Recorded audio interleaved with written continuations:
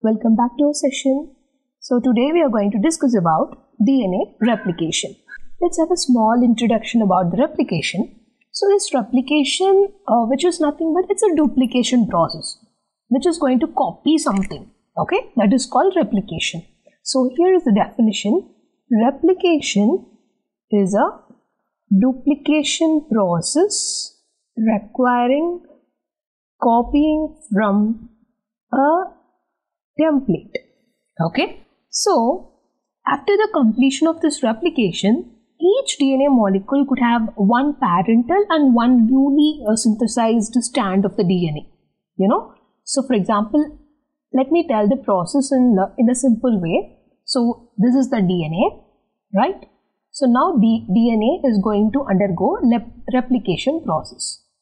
So now this strands will get separated and here, hmm, let me change the color of the new stand. So the new stands are formed. So this process is called replication. At the end of the replication, so one stand will be parental and another stand will be newly formed stand. Right. So this is termed as semi-conservative DNA replication. Semi-conservative DNA replication. Now, if we take this replication in the eukaryotes, eukaryotic organism, this replication is going to take place in the nucleus obviously, right? So, during S phase of the cell cycle, we have already know about it, right? So in the cell cycle, we have uh, three phases, right? So actually two phases that is interphase and uh, M phase. So in the interphase, there are three phases that is G1, S and G2, right? So in this S phase, this replication is going to happen in the eukaryotic cells. Okay. Now, coming to the prokaryotes, it does not have a true nucleus, right? So this replication is going to take place in the cytoplasm itself. Okay, so actually this uh, DNA replication is a little bit complex. Okay, and also it consists of uh, multi-step.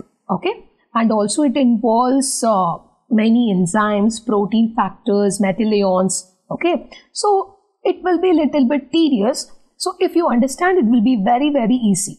Okay. You have to understand the names and its function. Okay. Yes.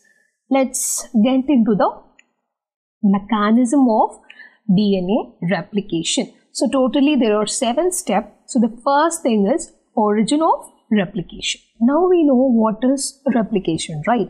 So it is going to happen in the DNA. Okay. So there should be some particular spot to start this replication process, right? So that is called origin of replication. So this is also called as ORI, right?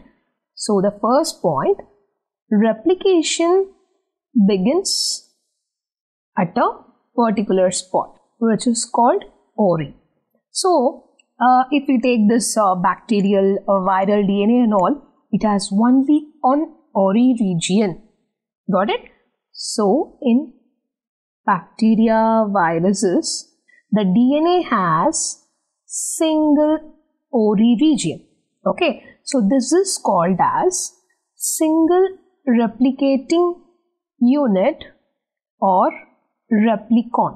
So, what about in the eukaryotic? So, in the eukaryotic DNA, there will be multiple number of uh, ORI region you know, which means several replicating unit is present in the eukaryotic DNA. Okay, so it consists of several replicating unit. It is also called replicons. That is multi repliconic. It is also called as multi repliconic because this eukaryotic DNA will have many number of ORI region. So if there is many number of ORI region, this replication can start in any of the ORI region, right? So, but in the bacteria or in the viruses, there will be only one ORI region. Fine. So what happens if there is no ORI region? Yes, obviously the replication does not going to happen if the DNA does not consist of ORI region. So absence of ORI replication will not occur. So we are clear about this first step, right? That is origin of replication. So this origin of replication is also called as ORI, which is a beginning spot of the replication process.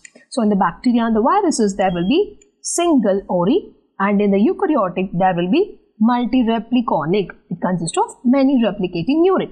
So if there is the absence of ORI region, the replication is not going to happen. So this is all about first step. Clear, right? Our second step is about activation of deoxyribonucleotides. Uh, so already we know about what is deoxyribonucleotides. Okay. So now uh, this activation of this deoxyribonucleotides is going to happen in the nucleoplasm.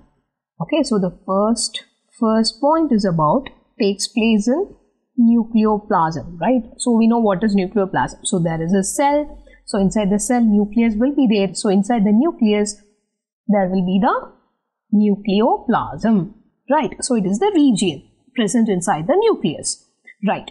Okay. So here there will be four types of molecules will be there, which means deoxy adenosine monophosphate.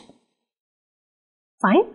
So this is called as deoxy adenosine monophosphate. Right. So we know that uh, base pairs, right? Adenine, guanine, cytosine and thymine, right? Which is attached to the sugar with the phosphate group is called as deoxyribonucleotides. Okay, now let me draw this uh, adenosine, okay? So this is the adenosine. Okay, so it is the double ring molecule. So with this, sugar is attached with the phosphate group. Okay, so this whole molecule is called as deoxyadenosine monophosphate. Clear? So this is one type. Okay, so here adenine is attached. Okay, so there are another three molecules is there. What is that? Guanine, cytosine and thymine, right? Yes, we'll write it. So there will be another molecule deoxyguanosine monophosphate. Okay. And then we'll write this deoxyguanosine monophosphate. And the next molecule is DCMP. Okay. This is deoxycytidine monophosphate. Okay. Last molecule is DTMP that is deoxythymidine monophosphate. So just see this diagram DAMP. So here adenine is attached. So if adenine, in the case of adenine, if the guanine is present, then it is called as deoxyguanosine monophosphate. If there is cytidine is present, then it is called as deoxycytidine monophosphate. When there is thymine is present, then it is called as a deoxythymidine monophosphate. Clear? So these are the deoxyribonucleotides present in the nucleoplasm. Fine. So actually, this molecules should get uh, phosphorylated. You know, so there should be addition of phosphate group because for the activation to get energy, to get extra energy. Okay. Now the third step is about, so first this molecule will get phosphorylated and changed to active form. So the heading itself, it's an activation, right? So now it is going to get into the activation form when it is get phosphorylated. Okay, so here comes a very important enzyme called enzyme phosphorylase. So let me uh, take one molecule here. Okay, I'll take this deoxyadenosine monophosphate. So this DAMP. Okay, so I'm adding this phosphoric acid for the phosphorylation. Okay, so in the presence of enzyme called phosphorylase with the energy now this molecule is get converted into deoxyadenosine triphosphate. Okay, so the same like that of other molecules also. So if there is DGMP, I'll be getting DGTP and then DCTP, then DTTP. Right. So all the stuffs are phosphorylated nucleotides. Fine. So now this is the deoxyribonucleotide triphosphate. Okay. Now we got this phosphorylated nucleotides, so which will be acting as a substrate in the replication process and they provide energy, obviously, right, for the polymerization reaction going to happen in the further steps, right? So here in the second step that is activation of deoxyribonucleotides. So it is going to take place in the nucleoplasm. So these are the four uh, types of deoxyribonucleotides, right? So nothing is there. So D stands for deoxy, A for adenosine and MP for monophosphate. That's it. Okay. So this four molecules uh, is going to add with the phosphoric acid in the presence of enzyme called phosphorylase with the energy, it is going to form uh, deoxyribonucleotide triphosphate. Fine, that's it. Now let's enter into the next process. Yes, our next step is about exposure of parent DNA strand. Okay, so here what is going to happen? the DNA will be uh, like this, right? Now, this winding should get unwind. Okay, it is super coiled, right? It has consist of many loops. It should uncoiled like this, right? So here comes the enzyme called enzyme helicase. It is also called as unwindase. Okay. So this enzyme will act on the ORI site. Right. So this will act on ORI site and unwind the two strands of DNA by destroying the hydrogen bonds. Okay. So this both it will unwind the two strands of DNA by destroying hydrogen bonds. Right, we know. So this uh, nitrogen bases will help together with the help of the hydrogen bonds. So for example, if we take A here, uh, T is here, so there will be two hydrogen bonds, right? So this hydrogen bonds will hold these two strands. So this hydrogen bonds should get destroyed. So if it destroyed, we can unwind the DNA. Clear? So when it gets unwinded, this DNA will form a Y-shaped structure. Look at here. So now here the helicase is acting. Okay. Now, so now it is unwinded like this. So you can see how it is looks like. So it is like Y-shaped, right? So Y-shaped structure, okay, which is also called as replication fork. So after this, it will form the replication fork or we can call it as a Y fork. Fine. Now uh, the DNA got separated. Fine. So this separated strands should be stabilized, right? So now it is separated. It should be stabilized, right? So for the stabilization process, okay, so these exposed single strands are stabilized with the help of single stranded binding proteins.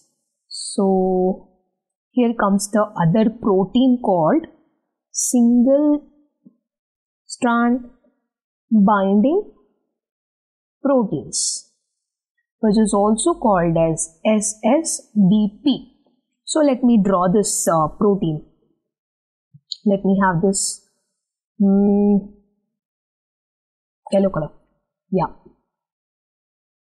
Yes. So these are the single stranded binding proteins which is used for the stabilization of the DNA strand. Okay. DNA separated strands. This is the one thing. So now here comes the next uh, enzyme called topoisomerase. So why this guy is coming? Actually, the DNA is already in the twisted form, right? It is supercoiled. So when it gets separated in one side, so the other side will be in the tension, you know. Due to unwinding, a supercoiling gets developed on the end of the DNA opposite to replicating fork. Okay, so this is the opposite side. So this is the replicating fork. This side is the replication fork side. So in the opposite side of this, so there will be the tension, you know.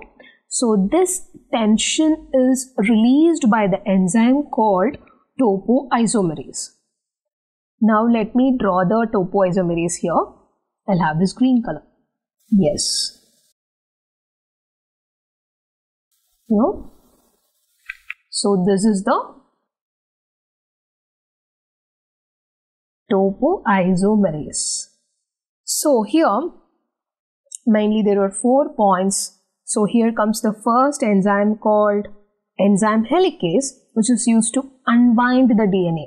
Okay, it is already twisted over so we have to unwind this for the replication process. So this helicase will uh, start from the ori site right? So this is the starting region of the replication process. So now this helicase will act on this ori site and it will start unwinding the stand. Okay? So there will be two strands in the dna so this two strands will get unwinded so if it gets unwinded it will forms a y shape right? Which is called as a replication fork or Y fork. Okay? So when this two strands get uh, separated it should be stabilized for the replication process right? So if it is not stable the replication is not going to happen. So for stabilization here comes a protein called single stranded binding proteins okay this will help out for the stabilization of the dna strands fine so then when the unwinding has happened in the replication fork side, in the opposite side, there, there will be a lot of tension is created between the two strands. Okay, so to release from the tension, there is an enzyme called topoisomerase. Fine.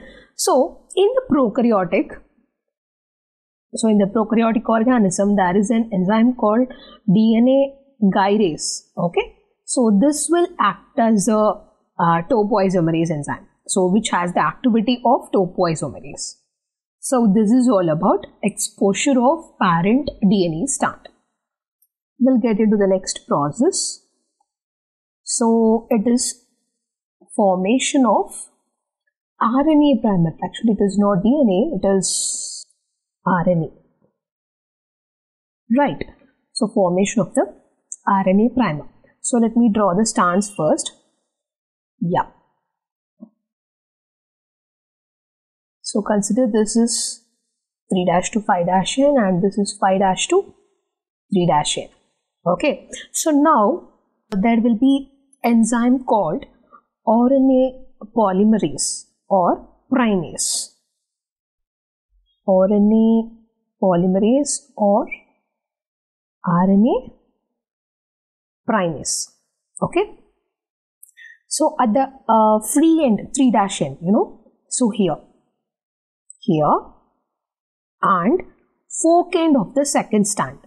Okay, so this is the fork stand.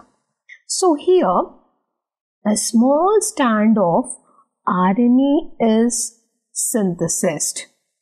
So this RNA is synthesized with the help of DNA dependent enzyme called RNA polymerase. This synthesized RNA is called RNA primer. So it consists of about 4 to 12 nucleotide. Clear? So it functions as the 5' end of the new strand. Fine.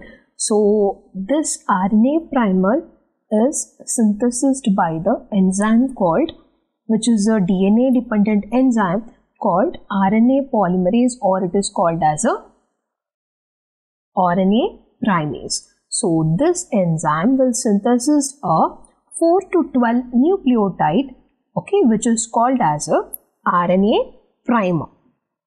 Clear? So this will be synthesizing the new strand in the replication process. So the next thing is about base pairing. So we know about base pairing, right? So the two separated stand in the area of replication fork, it function as their nitrogen bases. So let me write it so that you can understand it easily. So there, there will be the complementary phosphorylated nucleotides, right? For example, if there is DATP. So now here it is A. Okay. It will be binding with the thymine. If it is, it will be binding with A. If it is C, it is going to bind with G. If it is G, then it is going to bind with C. Right? So now these molecules have to build a hydrogen bond, right? It needs some energy also. Fine. Actually, it is triphosphate. It consists of lot of energy. Okay. So this energy is mainly to build the hydrogen bonds for the base pair, right? So here comes an interesting enzyme called enzyme pyrophosphate. Enzyme pyrophosphatase. So this enzyme pyrophosphatase removes 2-phosphate from this phosphorylated nucleotide. So these are the phosphorylated already we know that right. So in the activation of deoxyribonucleotide this molecules get phosphorylated. Okay. So this deoxyribo uh, are phosphorylated into triphosphate right. Nucleotide. This will change them into monophosphate state right. So now here are the molecules DATP and GTP and CTP and TTP. So now, so in the presence of this enzyme, pyrophosphatase, it will be converted into monophosphate again. Okay, with the release of some energy also. So it's a phosphate, right? So 2-phosphate is removed. Now it consists of only monophosphate. So other molecules. GMP, 2PI plus energy and again CMP plus 2-phosphate plus energy and TMP plus energy. Okay, so this base pairing is quite opposite to the second step that is activation of deoxyribonucleotide. So there uh, these molecules get phosphorylated. So here with the help of this pyrophosphatase these molecules again converted into monophosphate with the energy. So we are getting energy here. Okay, so we are getting energy here because to make hydrogen bonds, right? So now the new strand is going to form. Fine. So these nucleotides are already present in the nucleoplasm inside the cell. Okay. So now this get monophosphated. Okay. To get some energy for the formation of hydrogen bonds on the new strand. Okay. So this is all about base pairing. The next step is about, it's a very, very, very important step. Okay. So the new strand formation. Fine. So for the formation of the new strand, so there is a very, very, very important enzyme called DNA polymerase. So this DNA polymerase in the presence of uh, uh, magnesium ions, ATP and also thiamine uh, pyrophosphate, okay, it will uh, attach the nitrogen bases, okay, this will attract, attach the nitrogen bases of each template DNA, okay, it will establish the phosphodiester bond and it get linked to form replicated DNA strand. So actually with this magnesium ions and ATP and inosine pyrophosphate, so this enzyme will attach the nucleotides in the template strand to form the new strand. Clear? So as this replication proceeds, new areas of parent DNA duplex unwind and separate so that uh, replication proceeds rapidly. You know, so have this. Okay, so this is the. So this is 5 dash, 3 dash, and 3 dash, 5 dash. So here the RNA primer is there. Okay, here the other RNA primer is get attached. So when this forms a strand, okay, so from the RNA primer, so here DNA polymerase is going to attach here and it will start synthesizing the new strand. Okay, so when this starts synthesizing, okay, the gap will be filled with the complementary nucleotide by, by means of this DNA polymerase. Okay, so actually we'll have a clear diagram of this.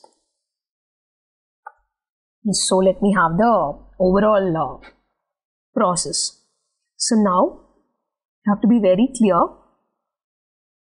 So this is the first step. Okay. So now this is the 5 dash, 3 dash, 3 dash and 5 dash. Clear. So this was unwinded by the enzyme called helicase. Right. So now it gets unwinded. So here there will be a, another enzyme called topoisomerase to reduce the tension. Fine. And also there will be the protein. Right. So what is that? Single stranded binding protein that is SSBP to stabilize the unwinded stance. Right. So now it is Y shaped which is called as a replication fork. Fine. So these two strands are parental DNA double helix. So which is the parent DNA. DNA double helix. Fine. So we know all these stuffs. So now let me draw another thing. So I'm going to make this fork little big. So this helicase enzyme is uh, unwinding the DNA very fastly. Okay. Now here, so again this is dash. Here, only in the 3 dash side, this RNA primer will be formed. So we know how this RNA primer is formed. Not only in this stand and also in this stand. So I told you that this RNA primer will be always going and attaching with the 3 dash N and it will start producing the new strands uh, only in the side of 5 dash side. Okay. So now this will be going this side this will be coming this side. Clear? So now this new stand. Now here the one stand is going to form this side, right? So this stand is called leading stand and this stand, okay, this is called lagging stand. So here, see the stand. So why it is called as a leading stand? Because, so this polarity is 3 dash to 5 dash, right? Now it is going to form new 5 dash shape. Okay, so its complementary stand continuous, right? So if one primer is get attached, it is going to form continuously. So there is no uh, block or uh, it is not going to stop anywhere here. So that's why it is called as a leading stand. Fine. So now look at this lagging stand. So here, uh, what is going to happen? There will be lot of RNA primer will get attached simultaneously when the helicase is unwinding. Okay. So now all these RNA primers will be forming a new stand. Okay. So there will be short, short uh. Okay. So it, it is not continuous. There will be some gaps between that. So that's why it is called as a lagging stance. So this short, short segments is called as a Okazaki fragments. So this short segments is called as Okazaki fragments. We know why it is called as a leading stand and why it is called as a lagging stand. So this leading stand will be forming the new stand continuously, but the lagging stand has short, short segments of DNA. Okay, so that's why it is called as a lagging stand. It is not continuous, right? So an RNA primer is also required every time a new Okazaki fragment is to, to be built, you know. So, so now this is a Okazaki, one of the fragment and this is one fragment and this is one fragment, right? in all these fragments there is a RNA primer. Okay, so this after replacing the RNA primer uh, with this deoxyribonucleotide, this Okazaki fragments are joined together. Okay, so this Okazaki fragments are joined together by an enzyme called DNA ligase. So this is one of the important enzyme. Okay, so this is the enzyme is used to join the Okazaki fragments. Okay. Let me draw here. So now, so this is the Okazaki fragment. Fine. So this is joined by the enzyme ligase. Fine. So now, when the ligase is formed, so there will be a continuous stand. Fine. So this is 3 dash 5 dash in and now this is 5 dash 3 dash and is formed here and this is 5 dash 3 dash and here 5 dash 3 dash right this and this is a new strand right so this is the parental strand and this is also a parental strand okay fine so when we take these two these two are the daughter DNA double stranded.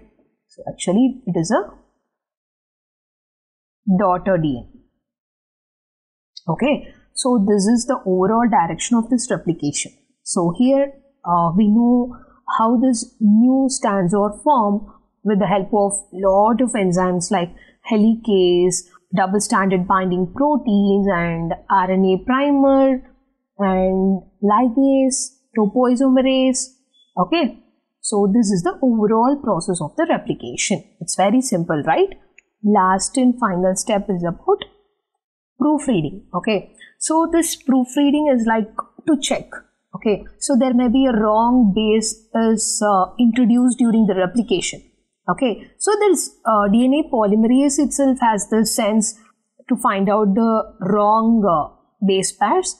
Polymerase itself uh, has the ability to check the wrong base pairs. Uh, when this DNA polymerase is going to synthesize the full stand, so if it had some doubt, okay, it will goes back and it will remove the wrong bases. So after removing the wrong bases, so it will add the proper base and then proceeds, okay, and it finally moves forwarding. For example, so so now this is uh, DNA polymerase is here, okay, it is uh, synthesizing a new strand. So if it is A here, if it is C here, okay, now this uh, replication process goes here. Now it can sense this that, so here it should come T, right? So it will remove the C and it will attach the T here. Fine. So such uh, mismatching is also get corrected by itself right So this DNA polymerase removes the mismatched or wrong nucleotides if present, you know, and synthesis a correct replacement by using the intact strand as template. Fine. So after proofreading, okay, so that the newly formed segment is what is the newly formed segment? The new strands, right? So the new strands are there. So this new segment is sealed by the DNA ligase. So new newly formed segment is sealed by DNA ligase. So we have uh, spoke about DNA polymerase and DNA ligase in this proofreading. Okay, this is all about mechanism of DNA replication. Fine.